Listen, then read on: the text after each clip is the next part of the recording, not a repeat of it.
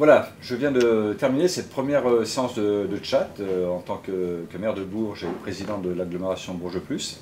C'est un événement euh, très intéressant et très important en, termes d'échange avec, avec la population.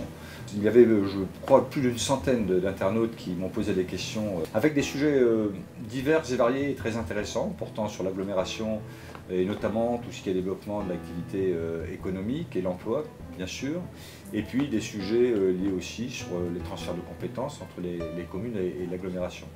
Euh, propre à la ville de Bourges, évidemment, des questions sur l'environnement, sur l'écologie. Donc voilà, je crois que les internautes ont, eu les réponses aux questions qui se posaient. Je tiens à les remercier hein, à travers cette, vidéo.